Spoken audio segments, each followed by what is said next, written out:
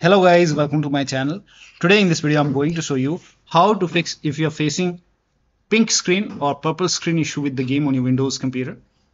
Now the first step is to perform a clean installation of your graphics card drivers. So if you have NVIDIA card, go to NVIDIA website. If you have AMD card, go to AMD website.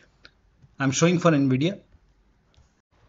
So to perform a clean installation, go to NVIDIA website and then select your graphic card from the list. Make sure that you select your graphic card and then select the right operating system. So if you have Windows 11, select Windows 11. If you have Windows 10, select Windows 10 and then click on find.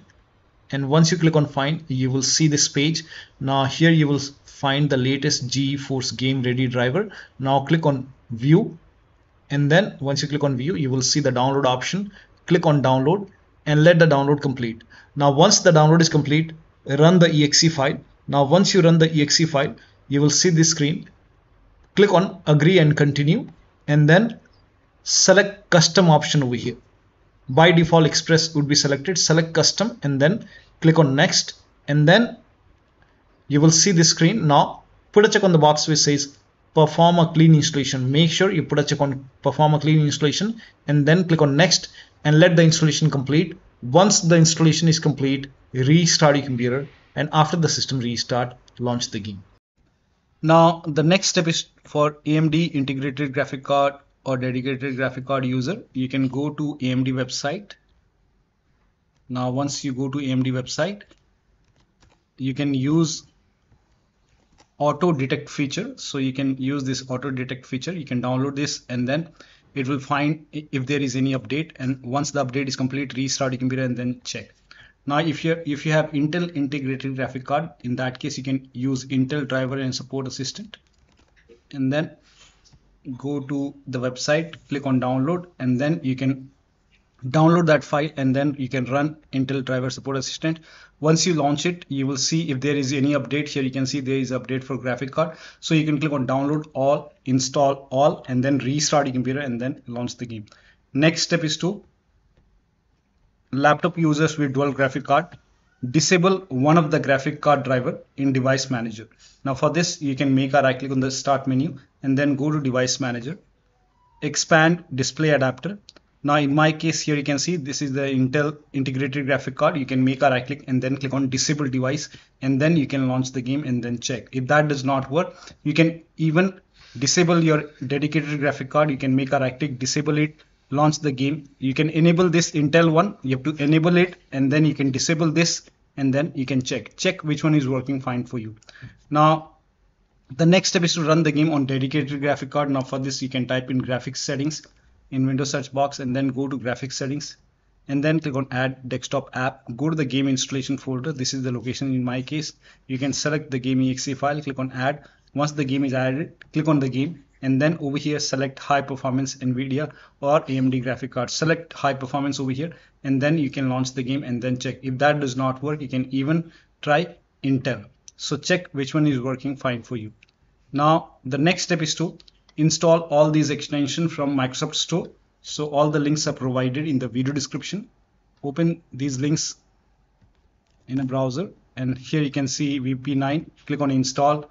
It will prompt you to open Microsoft Store. So open Microsoft Store. In my case, it is already installed. So if you see install option, hit install and then download this AV1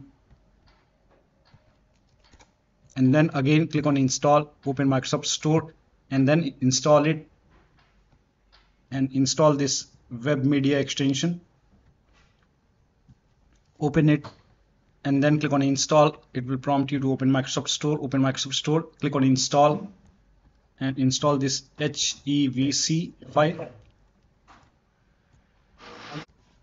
So once you copy this link open this link in a browser. Now here you can see HEVC video extension. You can click on install open Microsoft Store and then install it once the installation is complete.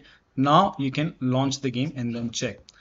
Now the next step is for AMD Radeon if you have integrated graphic card in that case you can type in view advanced system settings in Windows search box and then click on view advanced system settings. And over here click on environment variables. Over here you can see system variables click on new over here. And then over here you can type in the variable name that is disable underscore layer underscore AMD underscore switchable graphics underscore one. And then you can paste it over here. And for variable value you can type in the number one and then click on OK. And then again click on OK.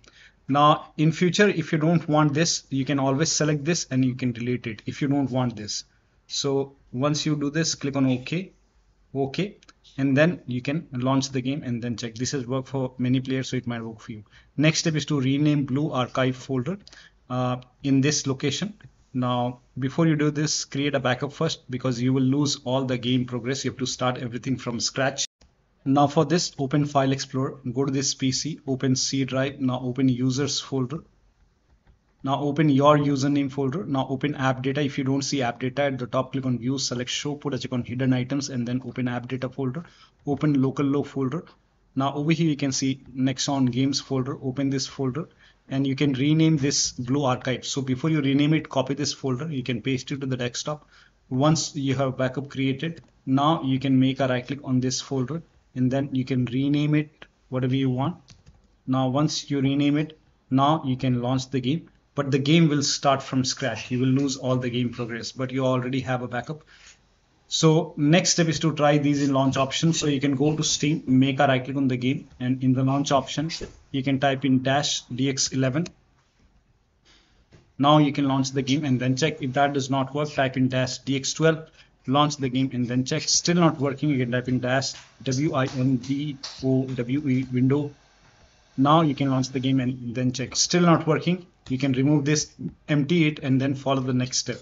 Now the next step is to run the game from the game installation folder. Now for this you can go to steam make a right click on the game select manage click on browse local files.